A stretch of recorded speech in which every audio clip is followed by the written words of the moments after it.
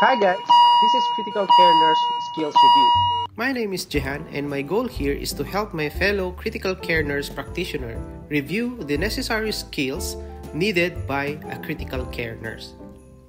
And this is the continuation of our previous lesson, and in this video, we will going to discuss the key points in doing critical care nursing assessment of the cardiovascular system, gastrointestinal system, and genitourinary system.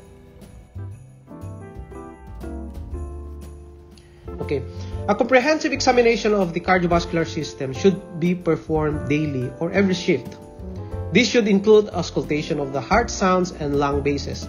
Also, assessing the peripheral perfusion, pulses, and the presence of peripheral edema should also be noted. Usually, edema will be present in the lower back and sacrum of the patient that has been supine for a prolonged period and this is a common finding in those who have critically ill. Spontaneous clearance of edema with accompanying uh, diuresis is usually a sign of an acute episode of sepsis is resolving. Document the observation of heart rate, blood pressure, capillary refills, and uh, your interventions such as fluid and inotrope administration, and document this graphically in order to identify trends. If you are using an electronic documentation, documentation of all of the care is easy and efficient for uh, review. Baseline and serial ECGs are important in patients with ischemic heart disease to assess for ischemic changes associated with acute deterioration of the patient. If available, transthoracic or TE or transesophageal TOE echocardiography are useful in evaluation of the structure and function of the right and left ventricles and heart valves. The use of goal-directed fluid therapy guided by cardiac output monitoring is controversial but may be Beneficial in early sepsis. However, many units lack the required equipment for this. Using of uh, cardiac output is really helpful in fluid therapy, especially for those patients on shock. The clinical response to fluid administration and where available, central venous oxygen saturation may be employed to guide the use of fluids inotropes, and vasopressors. The use of steroids is expected for a patient with refractory shock.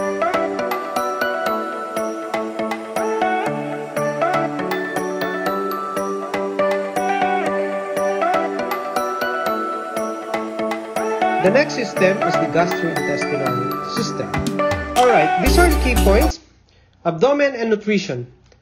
The abdomen should be fully examined at least daily, as it is a concealed source of infection and subsequent driver of inflammation in critical illness.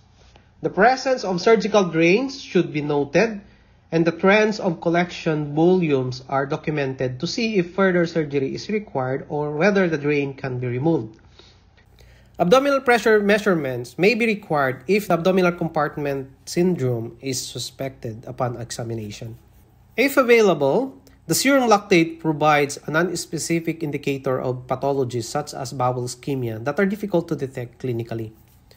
Nasogastric tube placement should be confirmed on a daily basis by pH testing or chest x-ray if being used for feeding. The NG tube should be removed as soon as it is no longer needed. Bowel sound should routinely checked. Okay, the patient's daily weight should be recorded as a basic nutritional assessment. The typical critical care patient's energy needs are approximately 25 kilocal per kg per day. This may be doubled in severe sepsis, trauma, and burn. Oral intake, NG feeding, and any gastric residual volume should be used to calculate energy intake. If available, dietitian support and the use of uh, feeding guidelines will aid adequate calorie, protein, fat, essential amino acid, and mineral input. If NG feeding fails, consider the use of post-pyloric feeding via tube inserted through the stomach into the proximal small uh, bowel. Bowel output should be recorded and diarrhea noted and tested for infectious organisms such as Clostridium difficile that causes pseudomembranous colitis. Other causes of diarrhea such as overflow, drugs, high osmolar feed, and intestinal ischemia should be considered.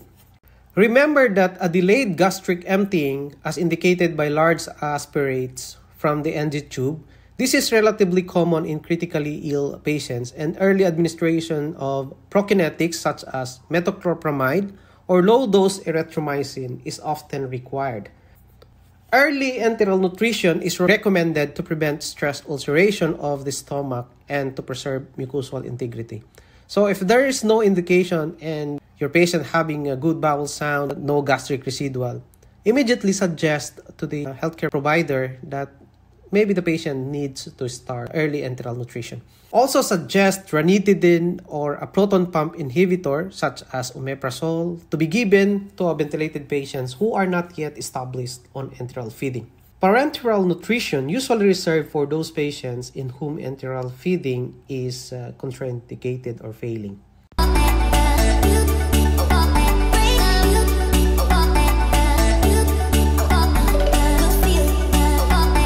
The next system is genital urinary system. In here, the urine output should be charted every hour where appropriate. Most urinary catheters are colonized with bacteria, but these are usually not clinically significant.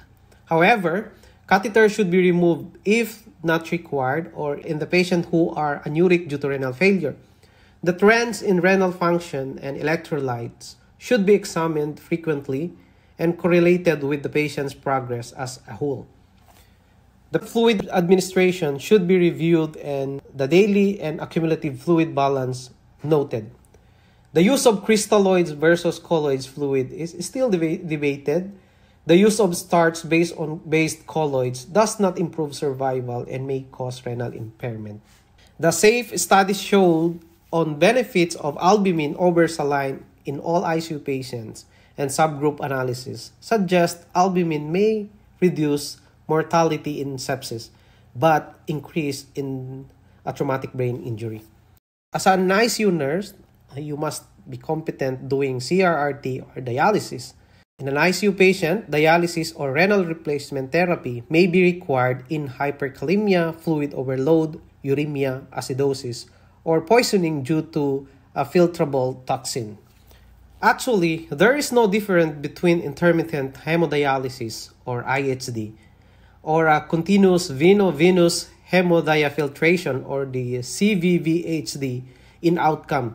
But CVVHD may be better tolerated in patients who are cardiovascularly unstable. That is why we are using CRRT mostly in the ICU because most of our patient is unstable and cannot tolerate the traditional hemodialysis or the IHD.